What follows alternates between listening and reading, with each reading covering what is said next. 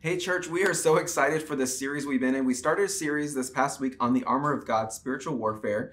And so, eh, Pastor Amy and I, um, we are going to be doing a weekly talk show talking about spiritual warfare. That's and right. we thought of no better guest than our founding pastor, Pastor Ken, to be our first guest on our weekly talk show during our spiritual warfare series. And so, I can't wait, church, for you to hear from the wisdom and the insight and perspective of our founding pastor, Pastor Ken. So, let's start us off. That's right. We're kind of making you our answer man, so we'll see what Yes. you know. The Um, Highlands Answer Man. I like that. if that. you guys have questions, this is who to ask. This is who we ask.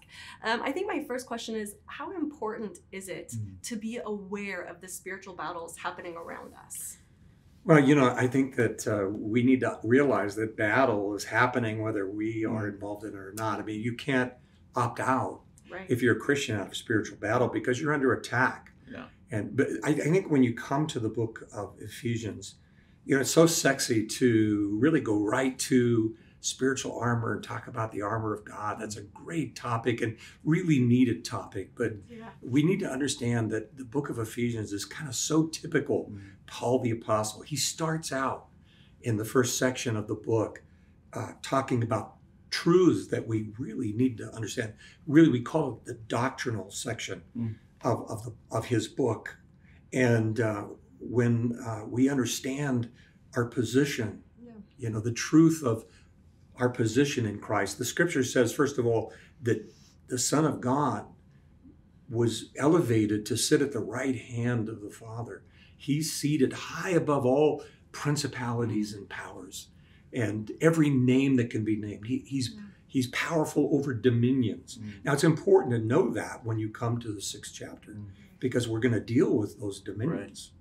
And and so we need to understand. It says he is seated, but then chapter two says that we are made because of our faith, because we put our faith in him, we become Christians, then we are seated with him in heavenly places. That's good. And so when we understand that we are seated with him high above every dominion and every power, it's from that position that we can then he then he talks about walking, our walk, our Christian walk, our duty, how we respond. That's that's the practical section. Mm. So there's really two parts of this practical section. There's there's the part of uh, uh, of our walking in the world, Mhm. uh, our relationship with the world, but then there's also the part of our battle with with Satan. Yeah. So we have to we have those three key relationships: our relationship with God, Mm. And our relationship with the world. Mm. You know, we've we've got this flesh nature that we're struggling and battling with. That the devil doesn't make a sin. Mm. You know, he can create a system. The Bible says he's the prince of power of the air. He creates a, a system in the world. Mm. He uses people to create that system that tempt us to sin, but we have to choose to sin. So we've got this struggle going on uh, on uh, just in terms of our, our testimony, our walk Mm. in the world. But then there comes this battle with the devil where he just attacks us. And that's when we need to have on Right. the spiritual armor. Mm. That's good. That's good.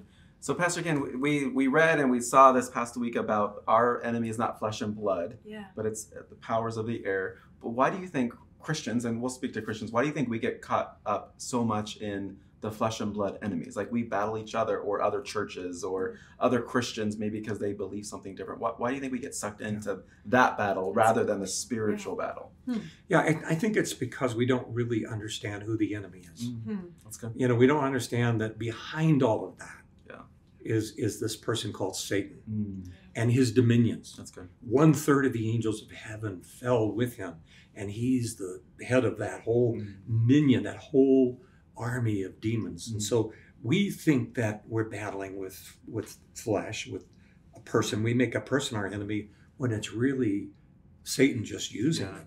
Yeah. Now that's why it's so important that we understand that when we come to Christ, that we are seated. See, when it says we're seated with him in heavenly places, it it means that we've put our trust in him Mm. we understand that he's the power. We're- It's not us. We can't beat the devil in our flesh. Right. It's it's the fact he's already beaten him. Mm. Yeah. And so when we put our faith and trust, we rest.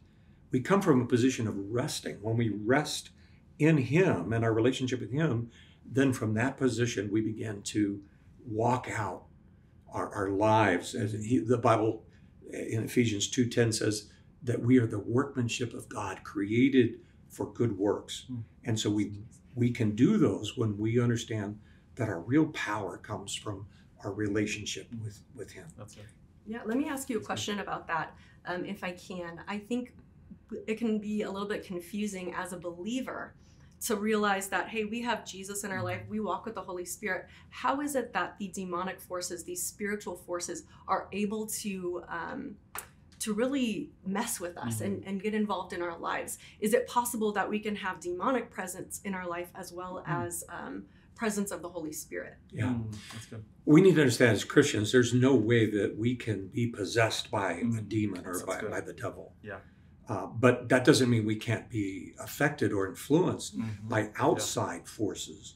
And as you know, we spoke of this system that the uh, devil, uh, Satan, is in charge of these systems, principality, pr- principality of the air, Yeah. and and he's organizing these systems, and and he's always, you see, he can't beat God, Mm. and so the only thing he has is to try to defeat his followers. Mm. But if we always lean back into God and not try to battle him in our own flesh. That's good. um, then you know and realize that he he's already been defeated now i think that god uses actually uses what the demons try to do the bible says what he intended for evil god works Right. for good i think that he tries to he, god will use that in our lives to hone us and and to accomplish something in us we're not completely aware of what god's doing but but god is working through what what the enemy intends for evil Yes. God will actually use for good in our good. lives. That's good. Yeah. That's good. So, Pastor Ken, you've been preaching for a long time. You've been leading church for a long time, and I know you've been doing. You know, you taught on spiritual warfare, all of these different things. So, what is maybe your best piece of advice for our church as we're in this series of spiritual warfare that you can you've gleaned or maybe that you've shared, just to, to remind us because we're entering spiritual warfare. We know that it's all around us. We're talking about it services. So, what's maybe a piece of advice you can share with us practically um, that would help us in this war? Well, I think it's something that we uh, already talk about, we already believe, Mm. and that is that this is a time uh, for us to really press in uh, to our position of rest with God and Mm. into our to understand who we are. And this book is so important, Yeah. You know, to to help us to understand. It's just loaded that we've been Mhm. blessed with every spiritual blessing in heavenly Yeah. places.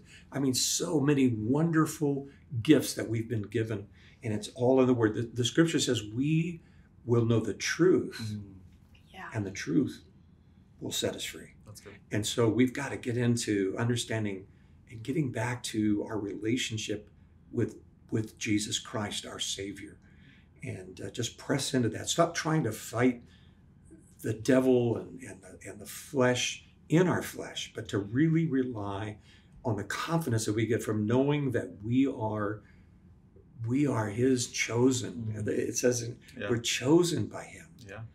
predestined for greatness and for dominion. And so That's when we press into him and understand our relationship with him, I think then the armor, you know, becomes really real. It becomes powerful. Mm, If we just try to put on this kind of armor thing, we've got all the little graphics that we use and you know and uh, that that's all good, but but we really can't understand the power of the armor if we don't understand the power of a relationship Mm. the relationship that we have with Christ. Uh, and this is a time to get back to that, I think. Let's talk about relationship with Jesus and what that means to us as believers. That's good. I love it. That's good. Thank you so much for being Yeah. with us today. I today. know, that's awesome. It's been incredible to be able to just ask you questions yeah. um, and that you're available to us for that. Yeah. My pleasure. And we can't wait for this series, uh, church, as we are going through each individual piece of the armor. We'll be Yeah. having various guests with us throughout the our bonus content weekly talk show. And this is a very real and important topic. And we know that the enemy is not flesh and blood, but like Pastor Ken said, it, it's the principalities and the powers of the air. That is the enemy. We focus on them. And remember, like in week one, we stand firm of what God's called us to. And so we look forward to uh, having different guests going through each piece of the armor. So join us next week as we look at the armor of God.